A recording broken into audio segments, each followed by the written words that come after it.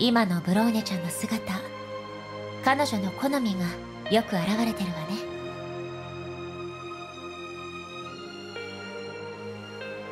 遺憾となる時もあるけど選択しないと後悔するだけよ。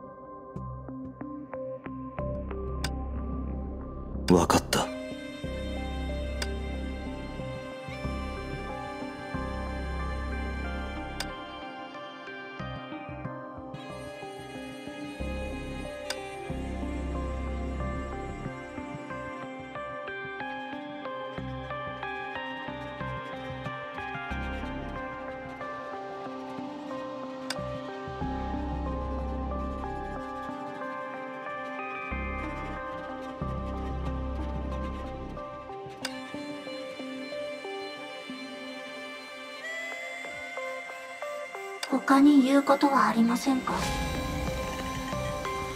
ああ。成婚計画の未来は君にとっては害しかない。早く離れた方がいい。じゃあ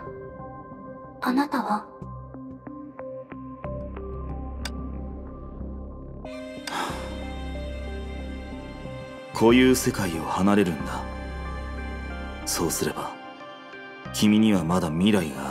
ある。教えてくれてありがとう。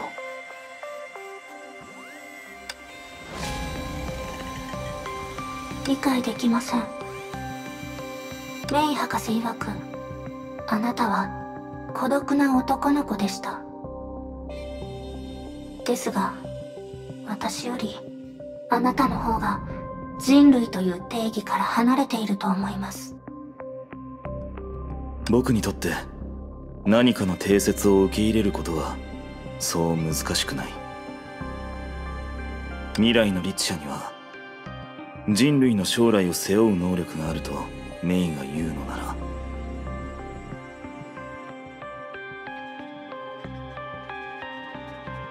僕も全力を尽くして彼女たちのために半日よりずっと多い時間を残そう。ですがあなたがしていることは高みの見物でしかありません。知っているのに馴染みがない世界で届くことすら難しい存在との長く絶望的な争いに挑む。そんなのあまりにも残酷でしょう。若者たちに背負わせるべきではありません。それは彼女たちのことか？それとも僕たちのことを言っているのか？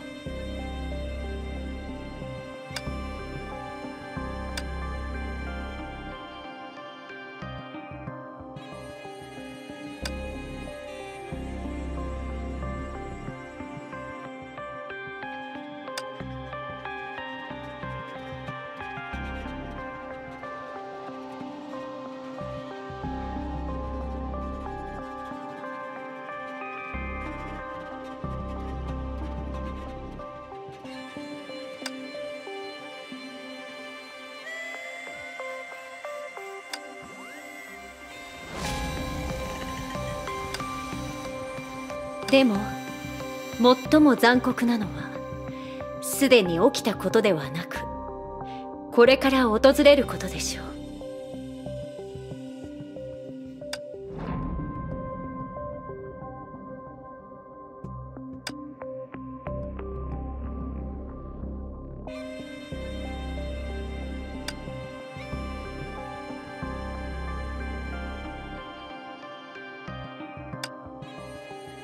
誤解しないでください。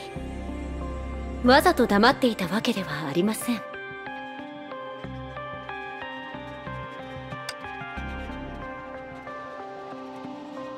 ただ彼女が自分で気づくことを望んでいたのです。今みたいに。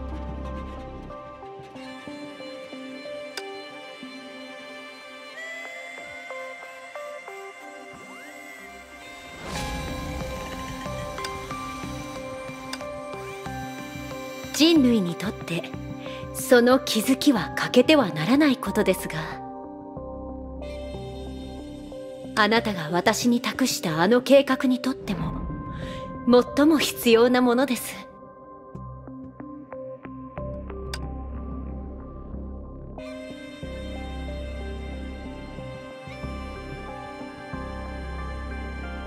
十分な証拠はありませんが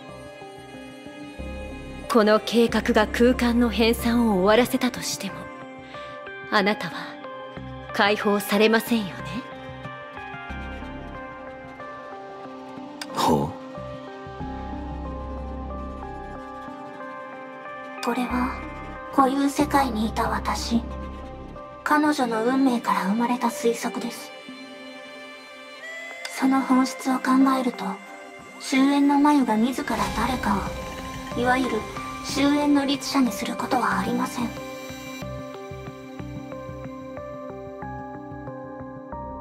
過去の人々は律者がランダムに誕生することを避けるために新時代に崩壊の意志という存在を用意しました。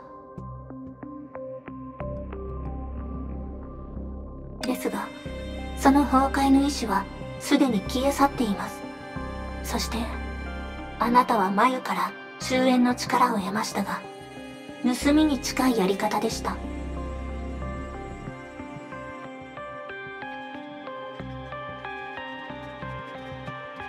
ですから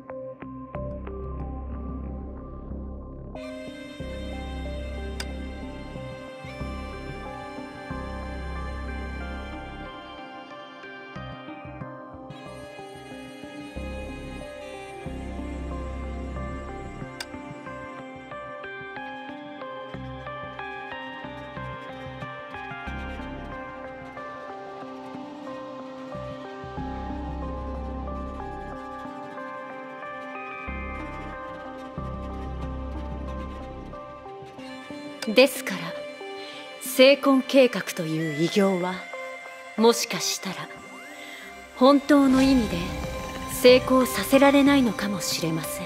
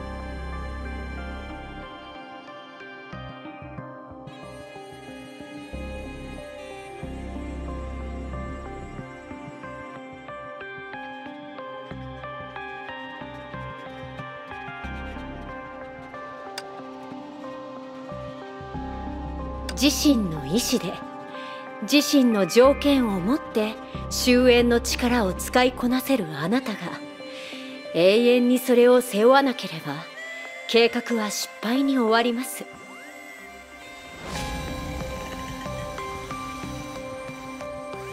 初めからそうするつもりだ。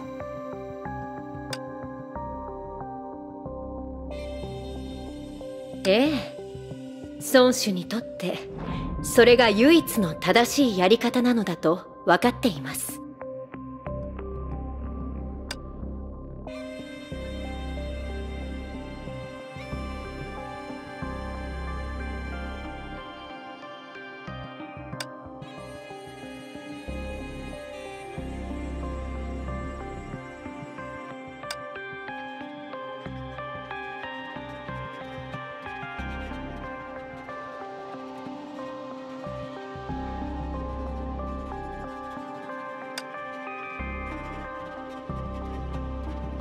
あなたは死だけを望んでいるのですか？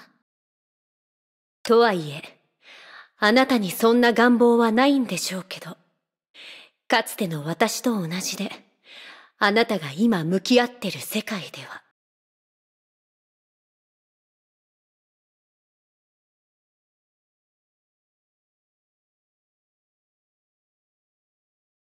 死こそが唯一の慈悲です。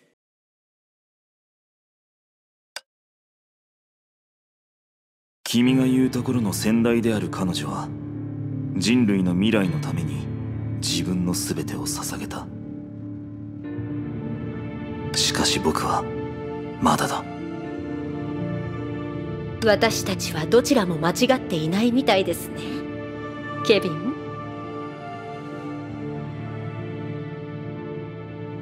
それなら今ウサギという名をヨルムンガンドに返し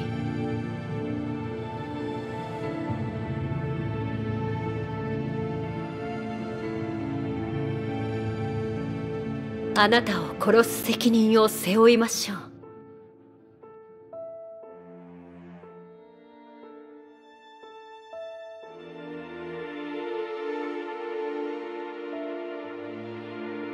君にできるとでも？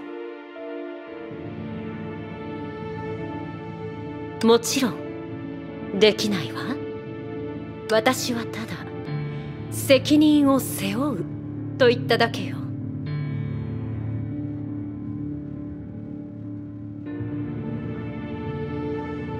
でもあなたが持ってるその力はあなたが経験した絶望と同等だから誰かが私を殺そうとしている。できる見込みはほとんどないが相手が努力し続けていけばいつかは可能になるかもしれな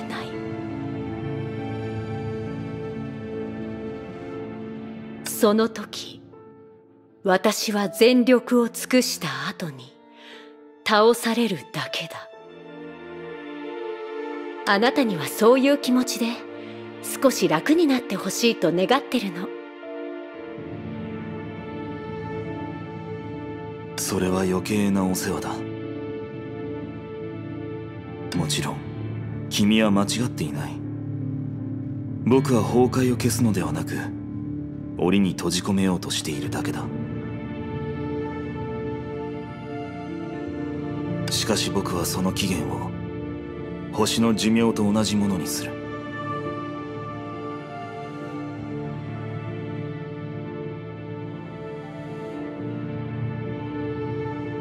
たとえあなたにとってはもう何もない世界で永遠に一人で生き続けるとしてもしかも終焉の権能のせいであなたはかつての戦友のように生きる意味を再び見つけることができなくなるのに。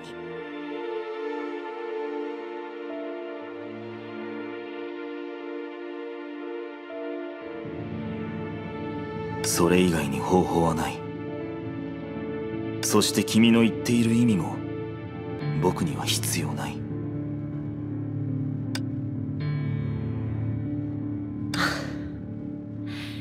そうね。そういうものがなくてもあなたはここまで歩いてこられた。では行きましょう。17号。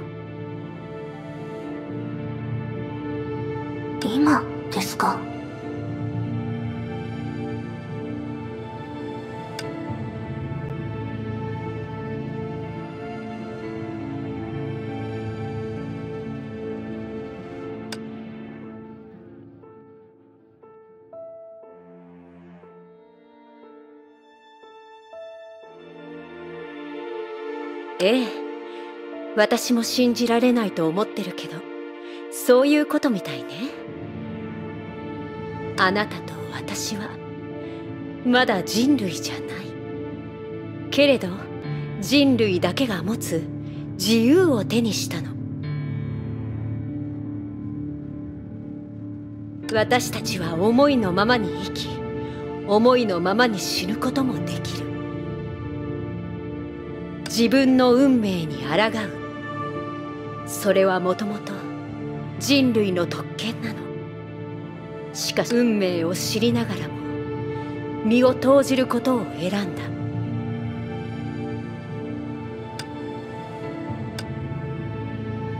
だ。やめなさい。彼のために定義を探す必要なんてないわ。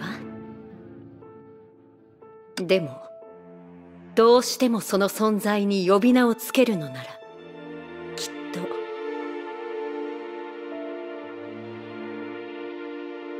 ヒーローという言葉しかないと思うわ。私はまだそんな存在に挑む資格を持っていな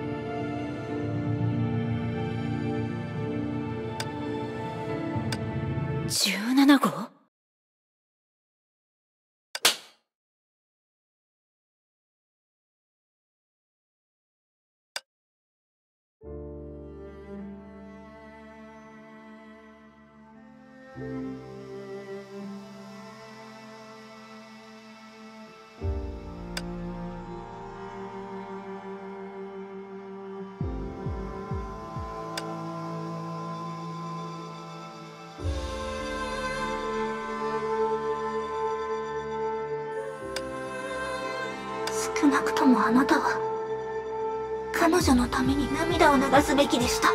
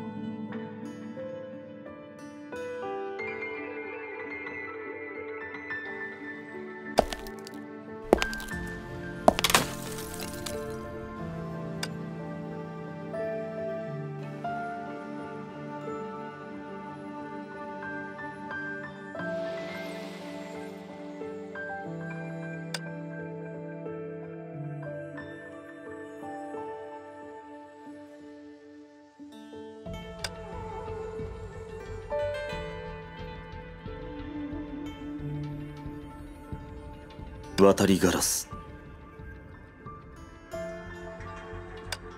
まだご存知ではなかったんですね。まああなたに関心があるとは思えませんがハイヘビはすでに私をヨルムンガンドから追放しています。気にすることはない。この全てが終わったらヨルムンガンドも意味を失う。分かっています。ただ裏切りがあなたの前で起きた時何も言わずに去るほど私は傲慢ではありませんから。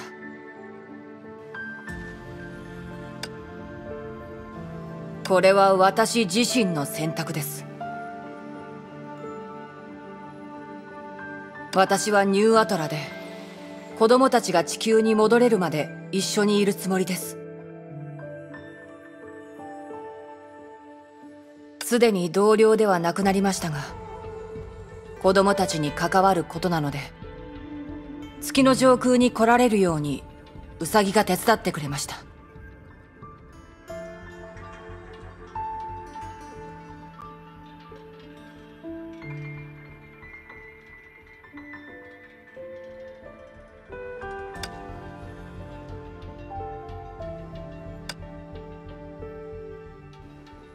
なるほど。君が信じているものはすでに過去とは全く違う。両掛け戦略を続けるといい。僕はそれを阻止したりはしないと君も知っているはずだ。しかし孫子もし私が心から何かを信じていればと今日という立場になることもなかったでしょう。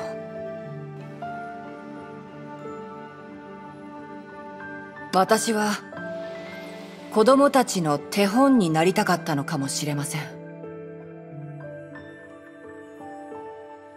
鳥は飛びたいから飛べたんだ。それは鳥たちが切り開いた運命なんだ。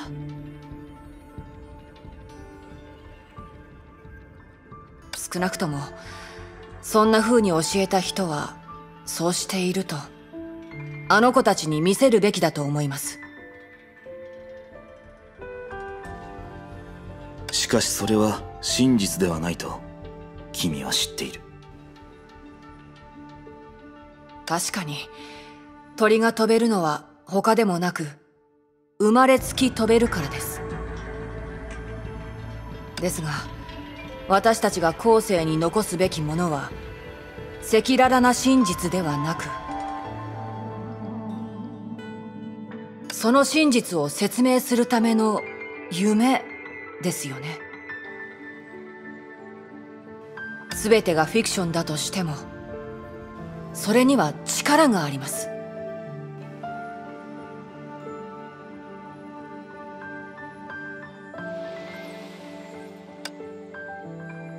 僕もそうであるように望んでいるよ。あの時僕はそう君に伝えただろう。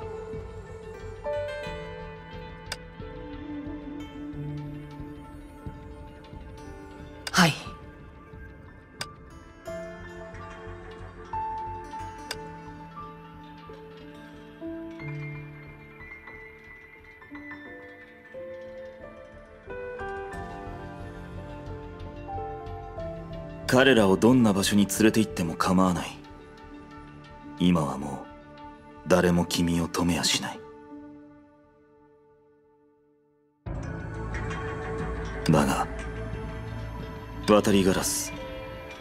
僕たちが話した二つの可能性はどちらも終わりを迎えていない。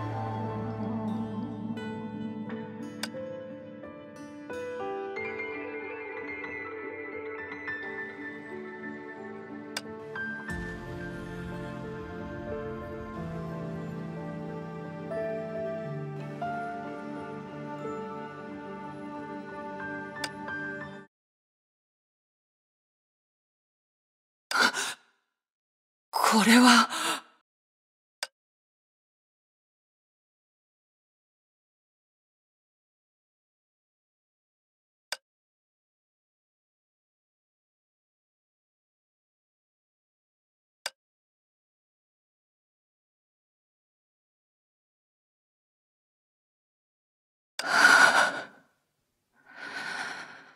渡りガラス。飛ぶ話をするときに僕たちはあることを忘れがちだ。イカロスもかつては高い空を飛んでいた。あの時手を伸ばせば彼は太陽に触れられるはずだった。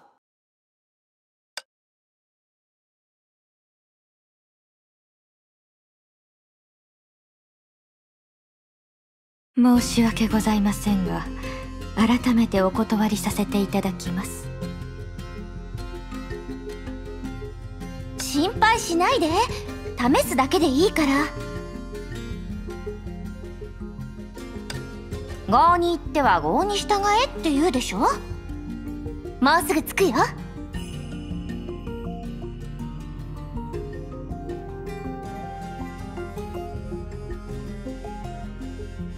そうですね将様の飛行技術って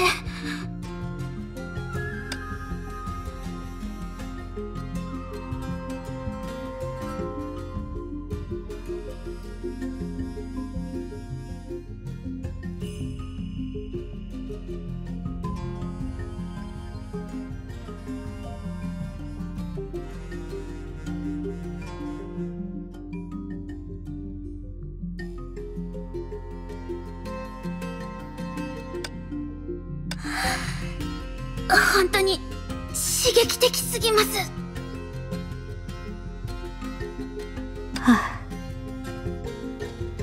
実際私たちはもう到着していますよ。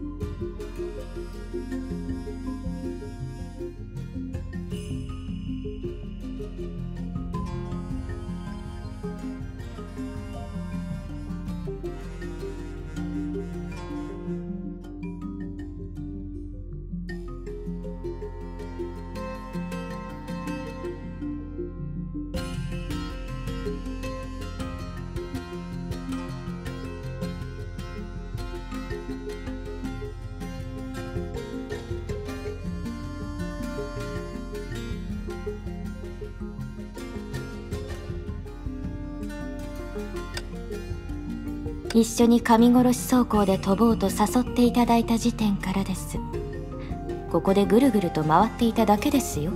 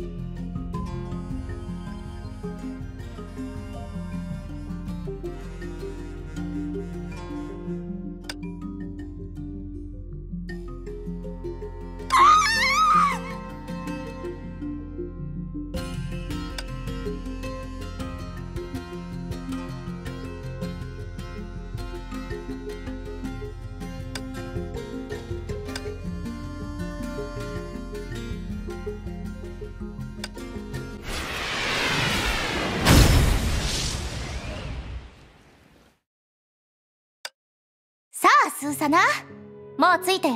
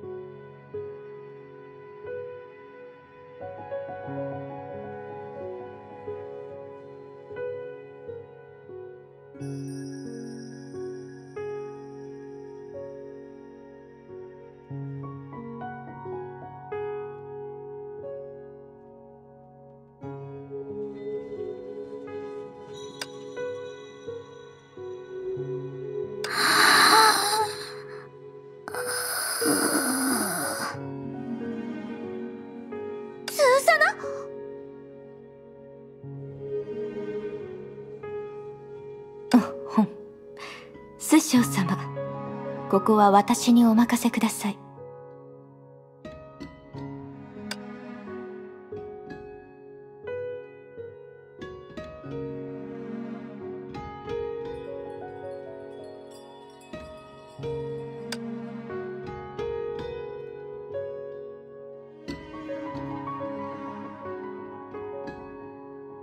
心配は不要です。ヘスティア号は医療設備が整っていますし実際彼女も休憩すれば問題ないでしょう。えじゃあこれって？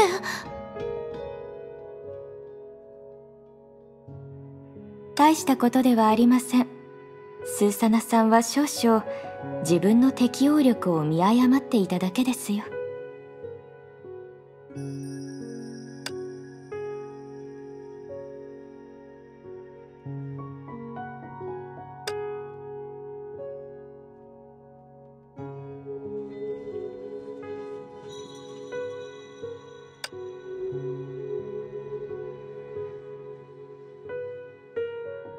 何はともあれ任務を続行しましょう。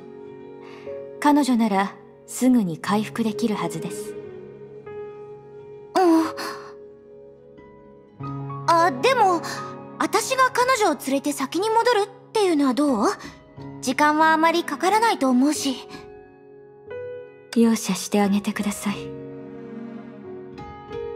それにすでに入手した情報によるとこの任務もそんなに難しくはありません。往復する時間よりも先に任務をクリアできるってこと？その通りです。それに輸送艦に乗った方が B 級バルキリーにとって心地よいでしょう。あそうだよね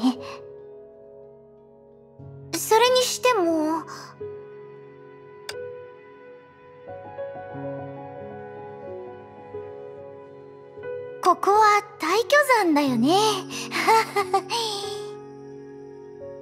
ああ出発しよう。話によれば近くの敵を全部倒せばいいんだよね。簡単に言えばその通りですが厳密に言うと成婚計画の意思に従い空間を編纂し続ける怪物を倒してもその進捗を一時的に遅らせるだけで本当の意味ではここを奪還できません。一気に片付ける鍵は師匠様のような精魂覚醒者の資質にあるんです。私？はい。精魂計画での精魂覚醒者の空間拡張能力を頼れば敵を倒すと同時に編纂を薄められます。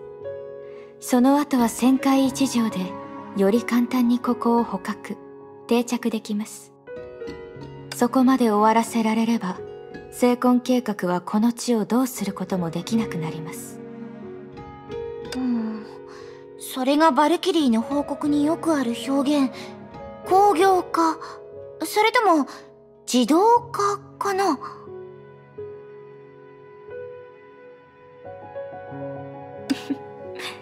そういう言い方でも問題ありません。とにかく私たちのすることは海炎城やセイフレイヤにいた時と大して変わらないってことだね。じゃあ目の前のエリアから始めようかな。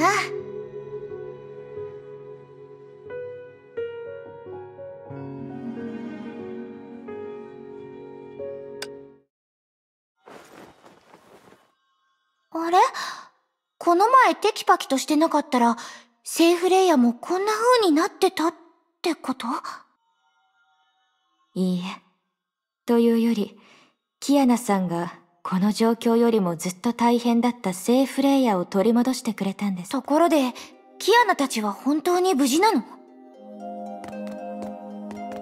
彼女たちを信じましょう。より困難な状況を彼女たちは経験していますから。じゃあ、お寿司様は、彼女なら心配ないだろうね。ええ。それに、ゼーレさんも協力していますから。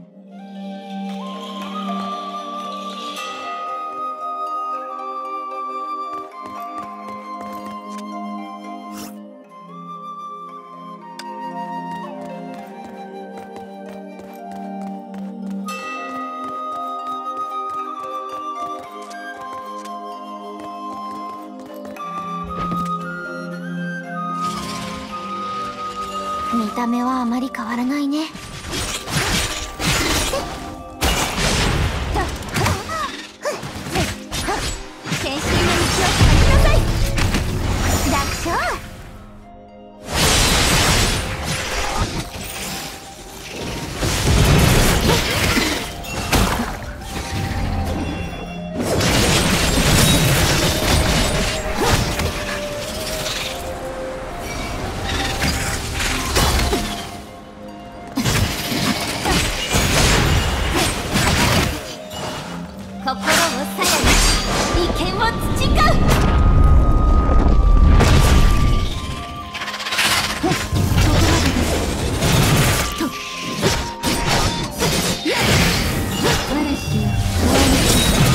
めて退去山で退去剣気を使うのがこんな相手と戦うためだなんて。本当に予想外だね。心をさやに利権を培う。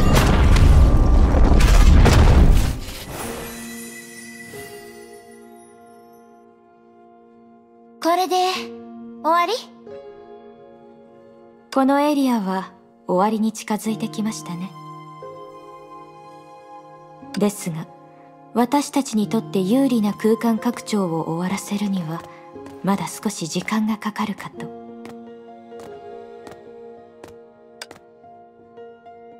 それに確認しなければならないもっと大事なこともあります。もっと大事なこと？やはりそうでしたか。それで何があったの？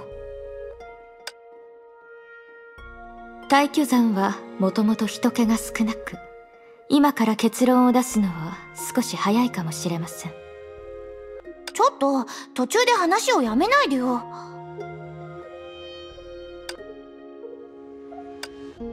申し訳ありません。簡単に言うと今までの奪還行動の中で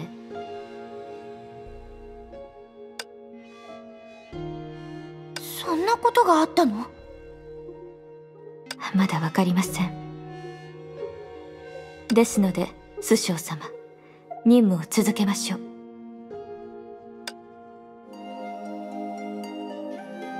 行こう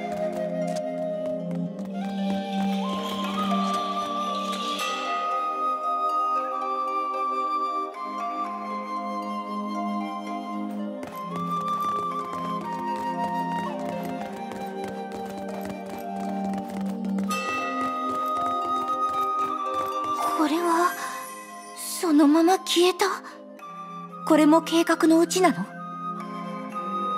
どうでしょう。動ける精魂覚醒者はもともと限られていますから。もしかしたら師匠様ほどの能力があればそれも合理的なことかもしれません。リタの言いたいことはわかるよ。でも状況がより複雑にならないといいんだけど。リタ様師この声は？スーサナ彼女がなぜここに？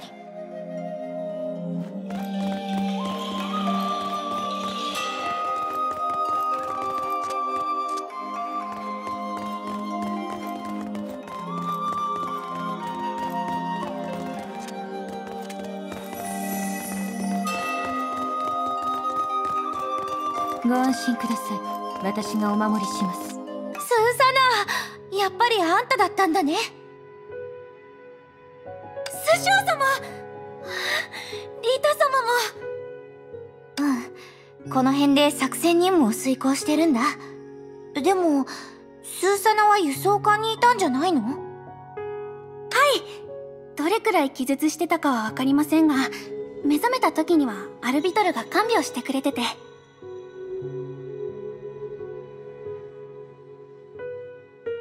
輸送艦での作業は彼女一人でできますから師匠様たちのいる方向を目指して出発したんです。その結果合流するどころか何度も怪物に遭遇して仕方なく戦いながら探すしかなくて。怪物。スーサナあんたは本当にすごいよ。あんたのおかげだったんだね。私が師匠様何の話ですか？師匠様が言いたいのはいろいろあったのにスーサナさんが先に任務に出た私たちよりもずっと早く虚数の造物を片付けたということです。違う道を歩いていたからですがその戦果は確かに称賛せざるを得ませんね。虚数の造物？ですか？でもガイドブックには。そうだよ。結構厄介だったの。前から言おうとしてたんだけど。もっと自信を持っていいんだよスーサナ。私が世間に触れたばかりの頃は。今のあんたよりもずっとヘナチョコだったよ。師匠様そんなことを言わないでください。私は見た目が植物っぽいから弱そうな怪物だと思っていたのでつい。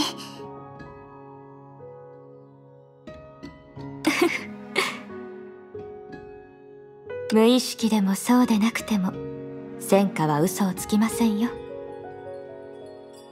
今度普及なる刃で総合評価を行う時はスーサナさんが自分の限界に挑戦できるように。その点も踏まえて判断しますね。でも今は任務を続けましょう。それもそうだね。世間では調子に乗りすぎるとバカを見るからね。はいスーサナ油断しないよう気をつけますね。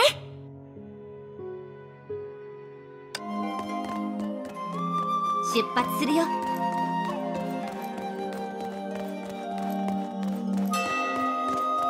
のスーサナの見せ場が来たかな？うん。師匠様とリタ様がいるのに見せ場なんてありませんよ。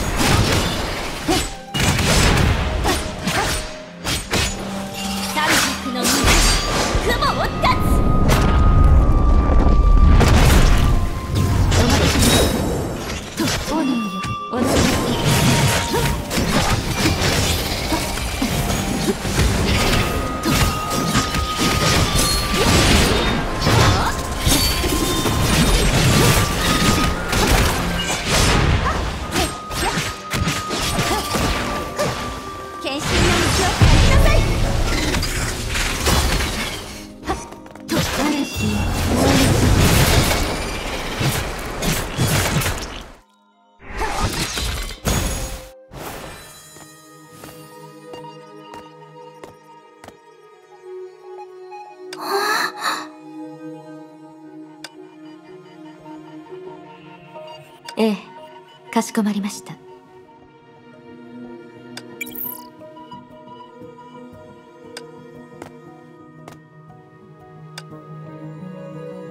アルビトルさんがヘスティア号から初歩的なチェックを行ってくれました。このエリア大巨山全体は正常な状態に戻っています。しかし空間の拡張はまだ終わっていないのでもうしばらく待つことになります。また先ほど話したことに関してですがこういう時になっても住人を助けられなかったとしたら奪還途中で他の部隊が観測した異常現象も決して偶然ではないと思います。住人？リタ様それって待ってあそこに人がいるよね？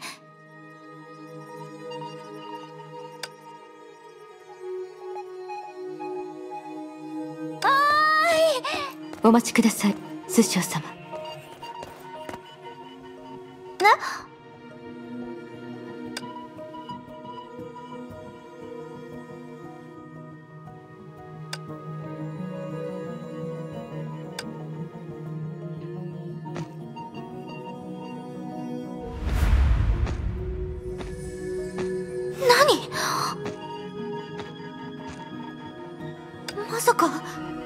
心霊現象？そんなに心配する必要はありません。これも分かりやすい異常現象の一つです。話すと長くなりますからここの空間が安定しましたら主教様に状況を報告しましょう。もしかしたら私たちが直面しているのは勝てない状況かもしれません。りそうだったのね。本当に大変だわ。それでどういう結論に達したの？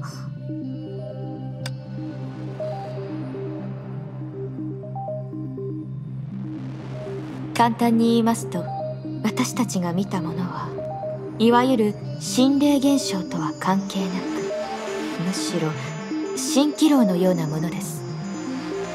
ともつまり彼らは今別の場所で暮らしてるってこと？ええ彼らの夢の中で。地球は奪還できていますがまだ多くの人々を解放できていません。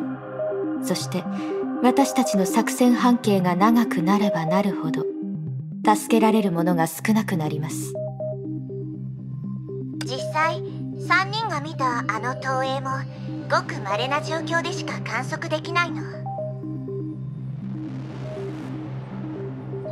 現在の作戦範囲内で私たちが奪還した場所の大多数では人影すら見られなかったわ。でも先ほどリタ様のご両親を助けたばかりじゃないですか。それは多分彼らがもともと天命本部の近くで暮らしてたからだと思うわ。近くのナポリ一帯だと自然に帰還できた人口の比率は50%前後まで下がってる。そして住人たちもいろいろ怯えてる。安心させるためにはこう伝えるしかなかった。大崩壊はすでに始まってるけど天命が必死に戦ってるからルールに従って自身と家族を守ってってね。本当に困った計画だよね。成婚計画って。でもヨルムンガンド側にも手伝ってくれる人がいるって話もしてたよね。それってどういうこと？詳細はまだわからないわ。通信の仕方を見るとウサギじゃないかと思うんだけど。相手が実際に提供してくれた内容を見ると個人的な行動とも思えないの。え相手は正体を隠したいようで旋回一条付近に空白の精魂空間の残片を大量に送ってきただけなのよ。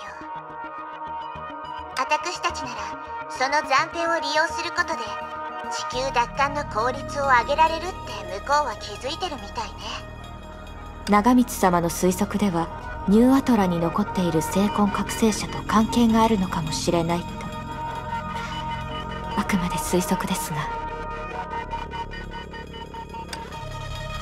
とにかくあの人たちはまだ成婚計画が紡いだ夢の中にいる。空間奪還と人々を夢から目覚めさせることは別。って話でしょ？ええその通りです。道理で勝てない状況だって言ってたわけだ。私たちの計画は順調に進んでいて地球奪還自体も成し遂げられると思いますが新たな手段を使わないと最終的に私たちが奪還できるのはほとんど人がいない地球になります。それはダメだよ。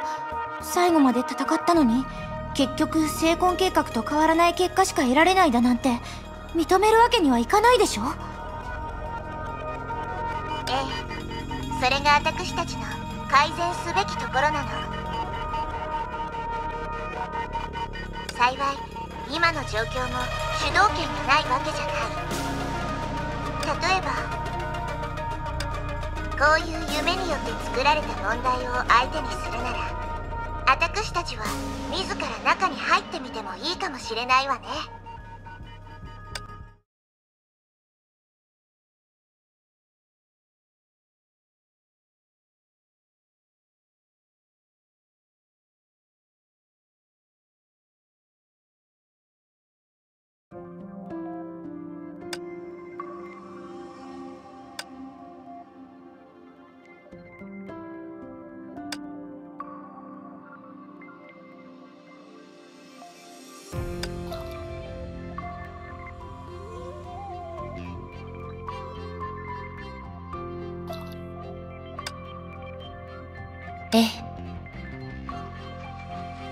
進みなさいってば。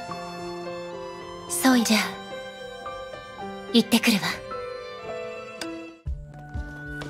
その足取りは鳥のように軽やかで。その思考は澄んだ波のように清らかで。その意志は盤石のように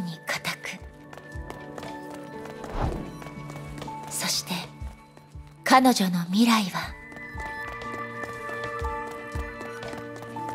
彼女の愛する者と共に紡ぐ。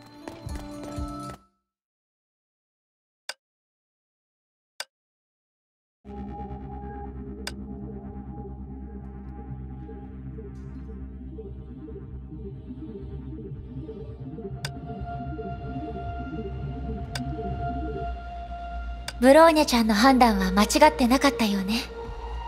私はずっと一方通行の道を歩いてた。だから引き返そうとした時私は全く違う道に入ってしまった。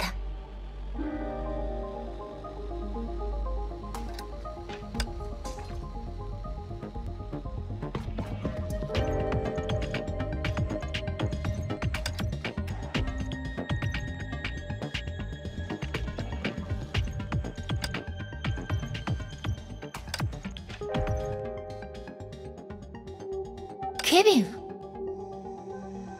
いや違う似てるけど彼じゃないわ。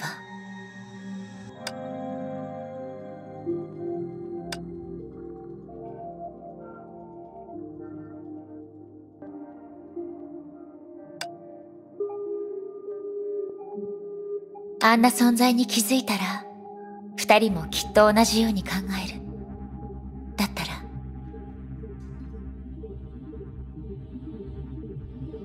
たとえ私が起点に戻れなくても同じ目標に向かっていけば私たちの道はいずれ交わるはず。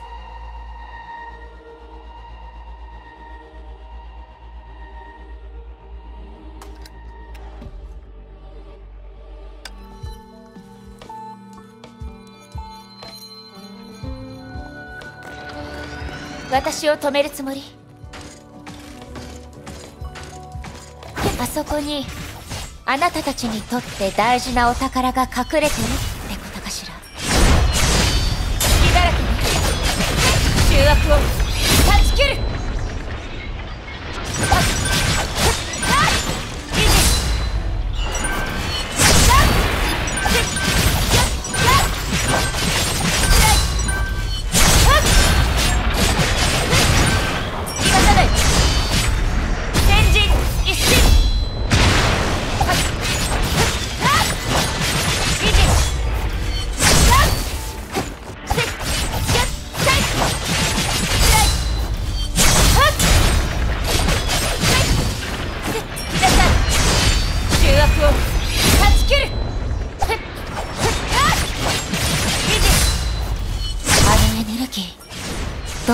ど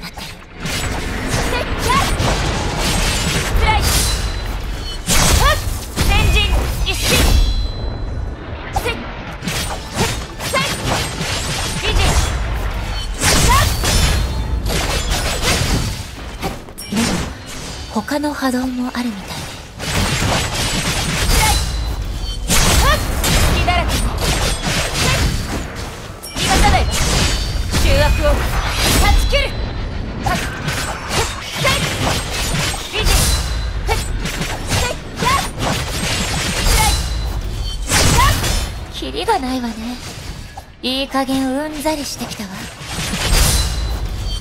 少し乱暴な手を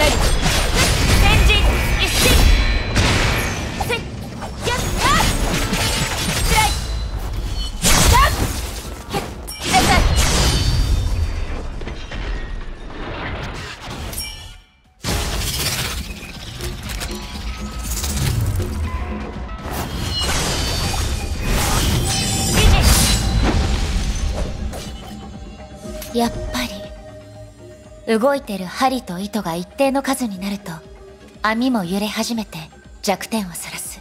このひびの奥に何が隠されてるか見せてもらえ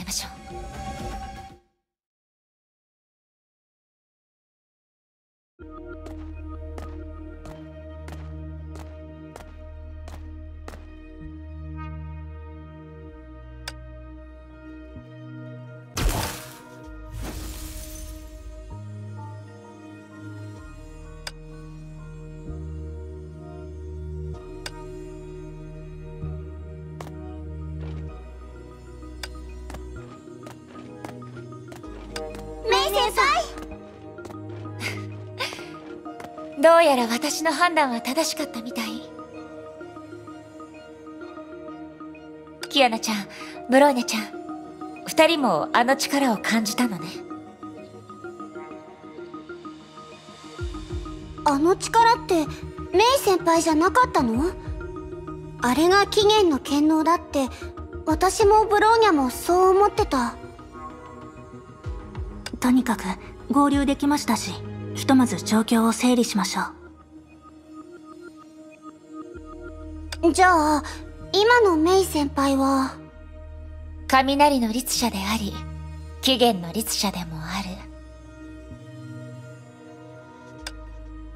とはいえ違うのは名前くらいかしら。起源の権能の理解に関してはまだ時間が必要なの。何でも断ち切れるこの感覚も起源の権能のおまけだけだと思う。残念ながら終焉の律者や眉に関する情報は入手できてないわ。大丈夫です。それも博士たちの想定の範囲内ですから。まずは話を現状に戻しましょう。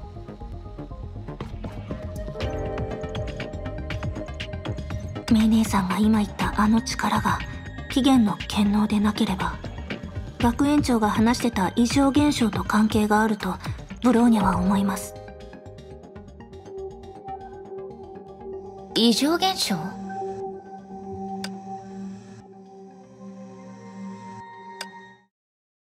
もう一つの結論を先に話そう。終焉の眉は人類の夢、その集合体の最深部に隠されているのかもしれない。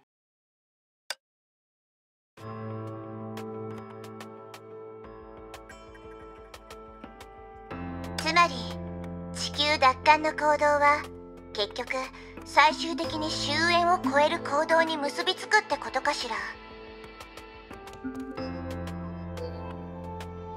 この問題を2つの面から考えてみて。まずは最近の行動結果を見る限り夢にいる人たちを地球の空間とともに現実に帰還させることは難しい。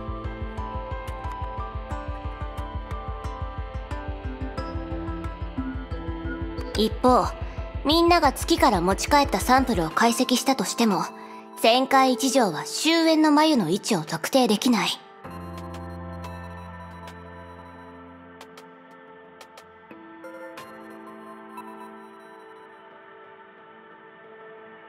それはつまり私たちが通り抜けることができない何らかの障壁が眉を隠してるってことよ。今ある情報から見るとそういったレベルの障壁はあの夢の集合体以外に選択肢はないわ。状況は厳しい。だが幸いにも僕たちには挽回する余地がある。ただ今の問題は。その前に確認したいことがあるテレサ主教誰もが一定の代価を支払うことになるとしても世界を元に戻す覚悟はできている。そうだな。何があったの？それはすでに天命とネゲントロピー。ひいてはヨルムンガンドの一部メンバーの共通認識だと思ってるんだけど。あんたの言う通りよベルト本題に入りましょう。ああ。原理的に言うと前に話したあの現象が起きた原因はそんなに複雑な話じゃない。人類の夢を全て一箇所に集めると精神のアダムという巨人が現れる。それはヨルムンガンド側が話してた夢の集合体の説明かしらああ。人々の夢をつないでいるのが精神のアダムだ。故に彼らは互いの精魂空間を共有できる。精魂空間を共有？結果から見ると彼らの精魂空間は干渉し合うことで互いの情報の空白を埋めているようだ外部との接触を拒んだセンチネル族は現代社会の暮らしを理解できないだろう。人類は交流と想像だけで未知の世界を具体的に認識することはできないんだ。精魂が記録しているのは言語や画面のような簡単な概念だけじゃない。精魂空間の共有によって実現するのは限りなくリアルに近い夢の世界だ。そしユートピアそのものね。そしてその夢は人と人との差を利用し彼らの求める未来や潜在的な理想を映し出す。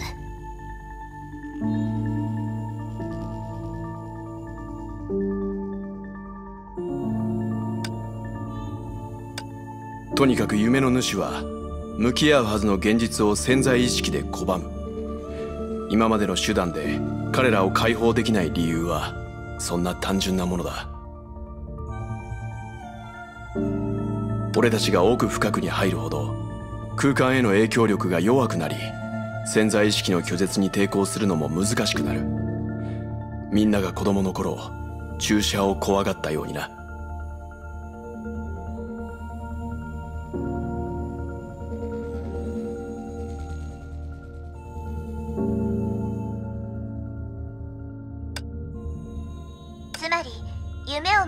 たちが夢を出られないのは彼らがそう願っていないからなの？そうよ。結局のところ夢は自分の潜在意識と直接交流する手段に過ぎないの。だから夢を見る人の感情や好みに左右されてしまう。それを避けることはできないの。技術面で言うと夢の集合体はブラックホールのように一種の得意点になってる。私たちが虚数化した地球を現実に戻しても大して影響を与えられないの。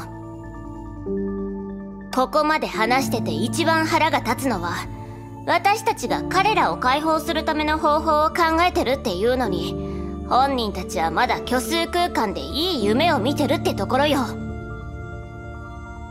考えただけで血圧が上がるわ。害を避けたいと思うのは生き物としての本能だからね。被害者たちは自分が夢の中にいることにすら気づいていない。夢から目覚めるわけがないだろう。知らないわよ。彼らは夢に隠れられることに喜ぶべきね。でないと私のテスラ10562で頭を叩かれて目覚めることになるわ。つまり私たちの今までの努力は無駄ってことかしら？残念ながらその通りよ。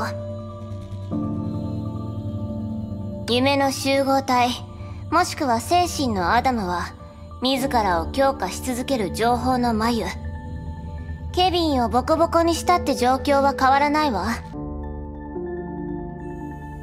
もちろんケビンをボコボコにするというのもテスラ博士の冗談だよ。うるさいわね。とにかく状況はかなり不利ってことよね。じゃあさっき話してた対応策って何？代価がかなり大きいみたいだけど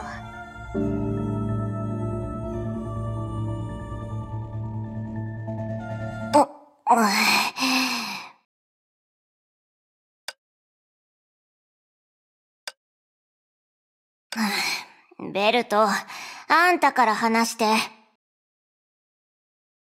いいだろう。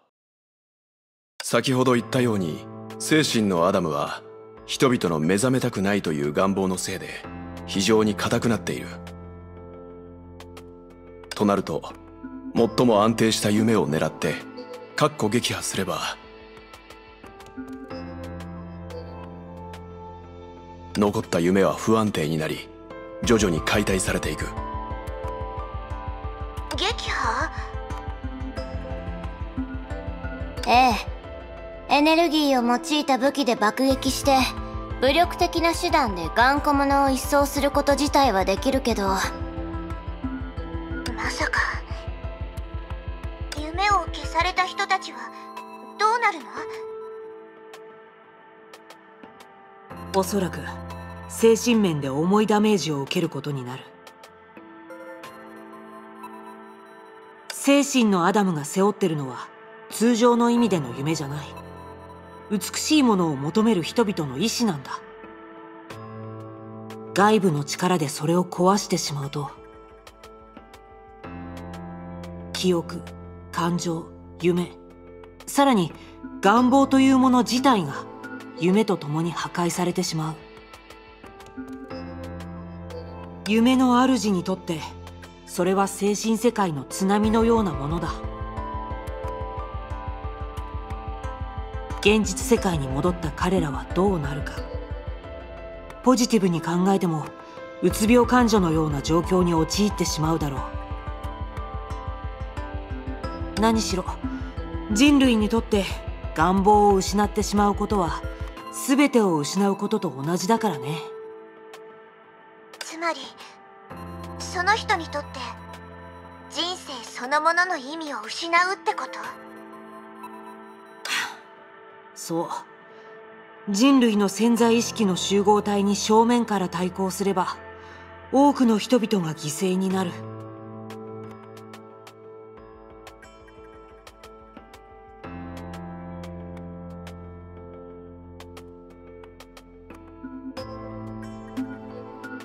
テレサさんそれは僕たちがそうすると決めた時に支払わなければならない代価だよ。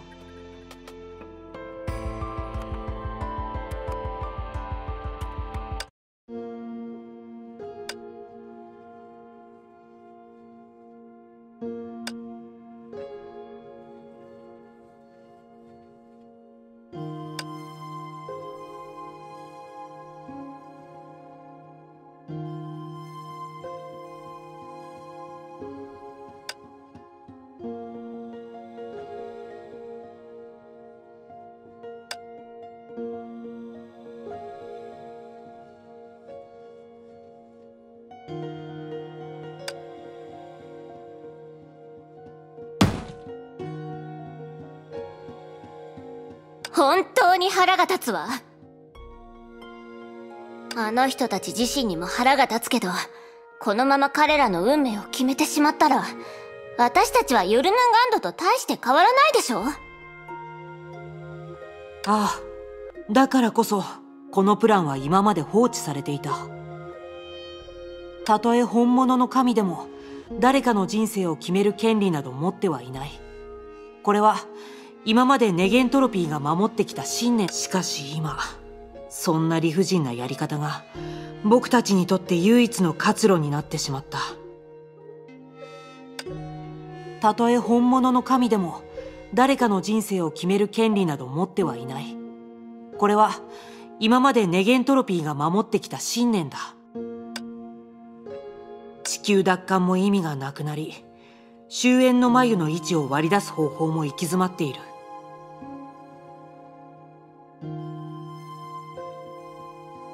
他のプランを考える時間はそう多くないんだ。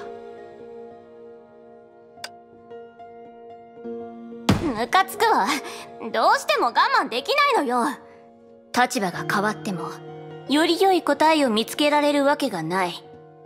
まるでケビンに嘲笑されてるみたいじゃない。確かにあの古毛どもに対してはちょっとした痛い目に合わせてやりたいと思ってるけど。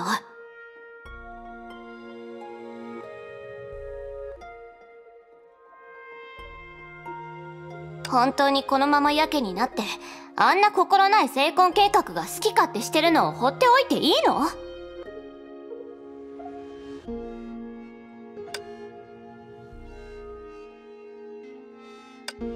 嘲笑されてるというよりむしろ問い詰められてる気分だわ。もし人類が文明のために何かを捨てなければならないならケビンは私たちにどんな答えを望んでるの？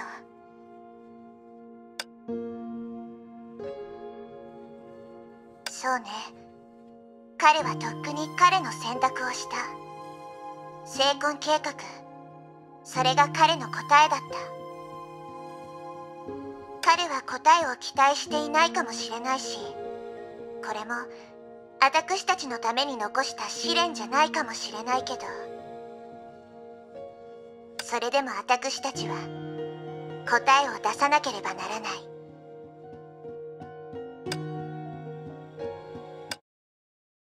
そういえばあの時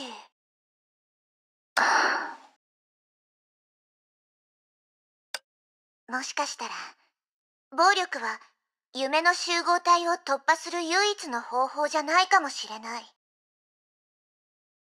成婚計画に捕獲された時偶然だったとはいえ私は確かに自分が夢の中にいるって気づいたの。それならあの精神のアダムも打ち破ることができないわけじゃないと思う。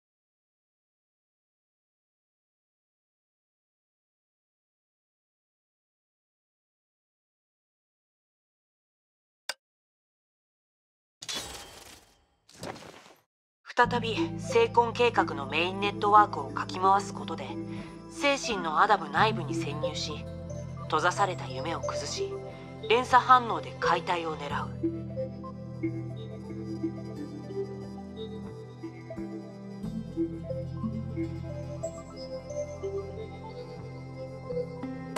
そして夢が緩んだ時正常空間の定着を進めその人たちを現実に帰還させる。同時にその過程で終焉の眉の座標を割り出す作業をする。第一歩が順調に終わればその後の行動も理論上問題はないと思う。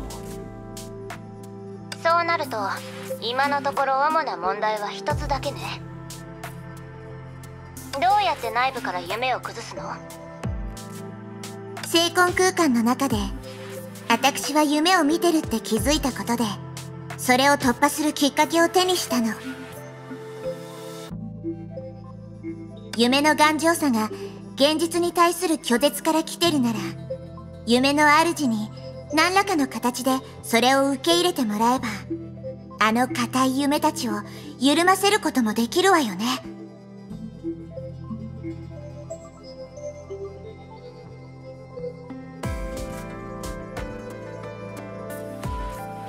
ってると思うけど少なくとも一部の人にとって夢は現実よりずっと魅力があるのよ。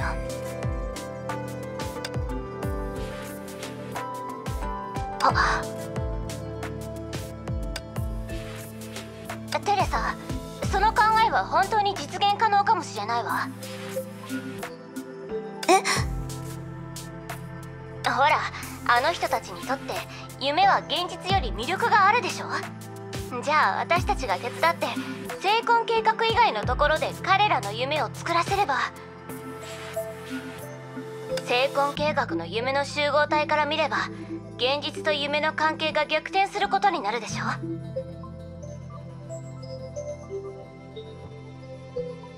ごめんなさい。ちょっとついていけてないかも。どうしてそうすると夢と現実が逆転するの？もこう考えてみなさい。その人たちは欲しいものがあるからこそ夢に執着するのよね。目の前の夢ではその願いを満たすことができないって気づかせたら相手は新しい世界を切り開きたいと願うはずよ。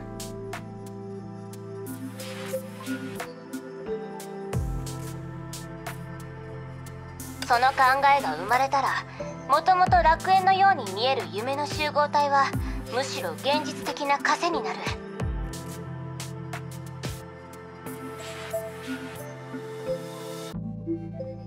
そうすれば個人個人が夢の集合体自体を否定することになるでしょ？つまり自分で何かを作りたいと考えるように相手を誘導すればその人はおのずと精神のアダムと敵対する立場になるってこと？おそらく敵対よりはずっと穏やかだが紛れもなく非協力的になるだろうな。ああ本当の想像は集団の潜在意識に対する反発。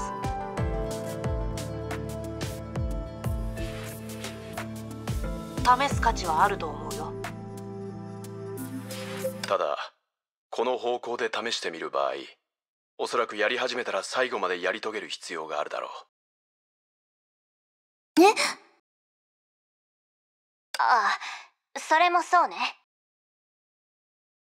それが効果があるやり方ならプラン自体にランダム性があるせいで私たちは結果をコントロールできない状況になる。運悪く。防御力がより強い精神のアダム2号を誕生させてしまったら今までの努力が全部水の泡よ。それならより試す価値があるじゃないか。はあ？ボサ頭あんた。冒険を主張しているわけじゃないよ。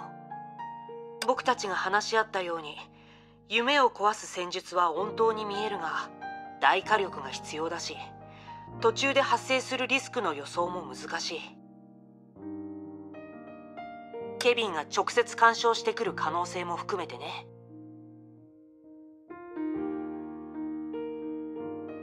だから技術面で言うと2つのプランのどちらがいいか判断しづらい。だったらより人間らしいプランを選ばない手はないだろう。というより第一歩の操作が成功したらあとは人類に助ける価値があるかどうかの検証をするだけだよ。テスラ博士君の怒りも非合理的なものではない。人類がただ一方的に助けられるだけの立場でいるなら僕たちは飼いならされたハムスターと大して変わらない。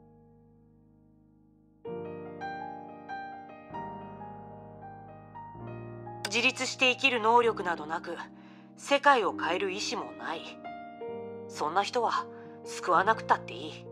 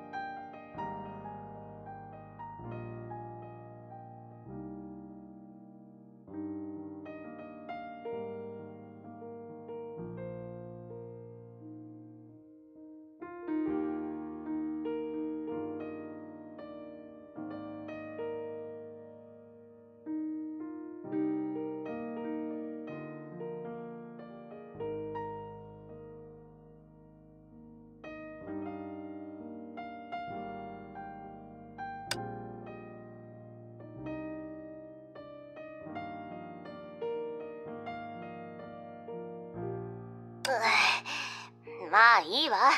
あんたはそういう意地の悪い人間だってもっと早く気づくべきだったわ。いや僕は君よりも人類の根性と可能性を信じている。ただそれだけさ。人類には助ける価値があると僕は信じている。でなければキアナたちが世界はより美しくなると何度も何度も思うはずないだろ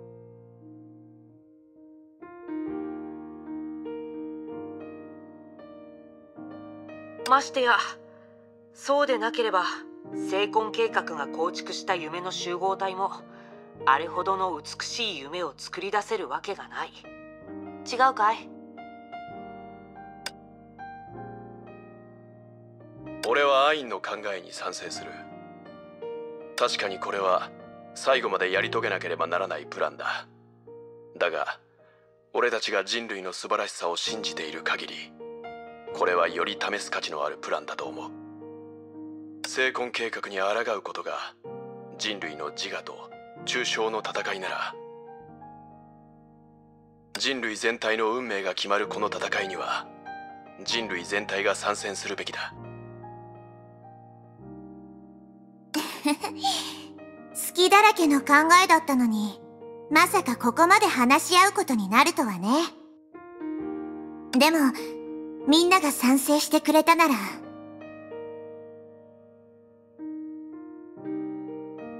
ええこのプランで行きましょう。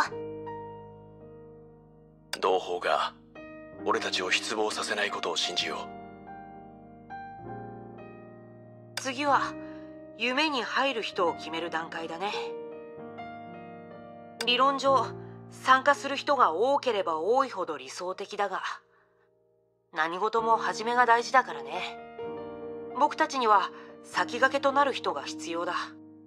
精魂空間に対して十分な忍耐力を持ち夢の中で迷ったりせず人を振幅させる話術も必要。そんな相手ならあなたたちの前に一人いるでしょ？それってテレサさん自身のことを言っているのかい？でもデュランダルたちが奪還した現実世界はあんたに定着させなければいけないのよね。それについてはきっとジークフリートがうまくやってくれると思うわ。彼はずっと後方で待機してて愚痴をこぼしていたから。他の作戦面の手配に関してはリタ長光琥珀たちを信じてる。彼女たちならきっと正確な判断をしてくれるはずよ。しかし精神のアダムの内部はまだ未知のエリア。あそういえばビシュヌの能力で。確かに。そう考えると作戦スタッフの中でテレサさんより向いている人はいないと思う。あれは最後の切り札だけどね。でも客観的な理由よりもみんな忘れてるなんて言わないわよね。授業を担当することはあまりないけど私は学園長なのよ。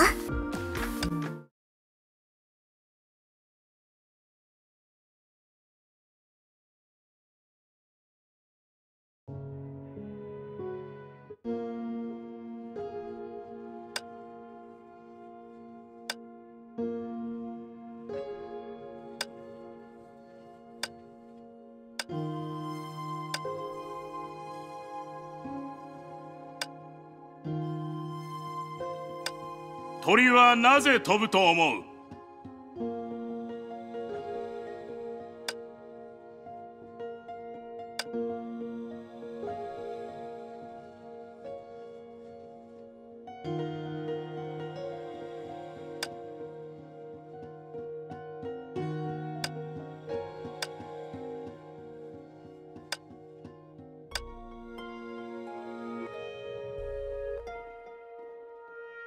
もちろんかつての私は必要のない疑問だと思っていた。鳥たちはもともと飛べる。それは私たちが持ち合わせている本能と同じで神様が許した施しなのだ。しかしこんなこじつけに等しい理由でもなぜ鳥が飛べるかについての解釈でしかない。なぜ飛ぼうとするのかは不明なままだ。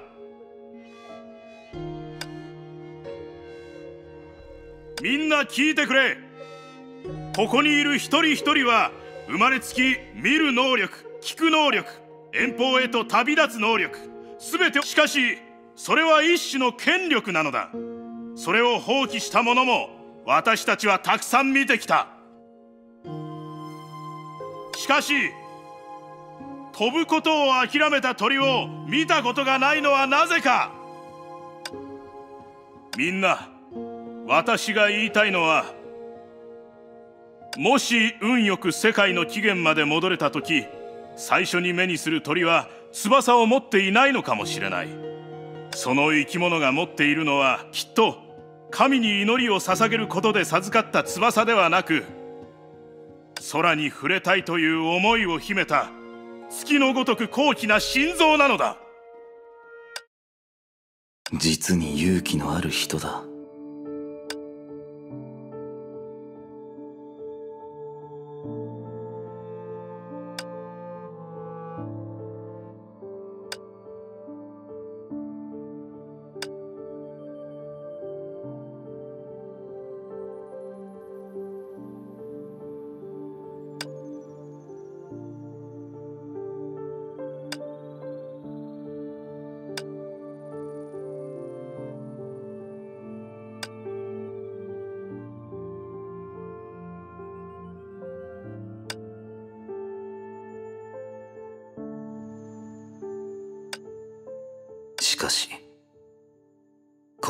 いつもより長いようだ。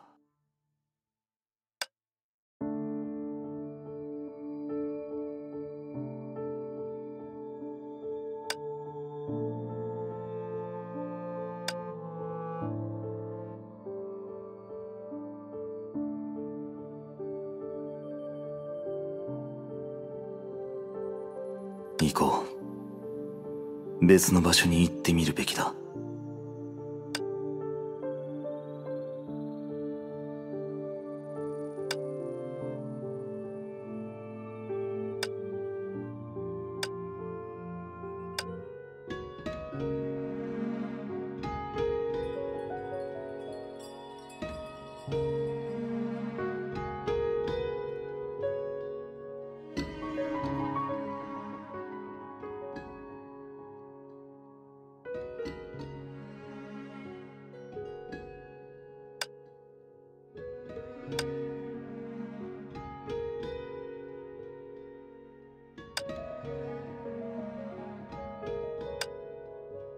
先ほどの記憶はすでに忘れ去られた断片だ。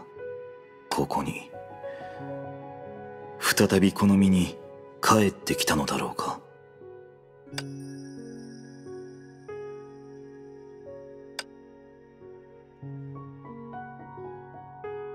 まあいい。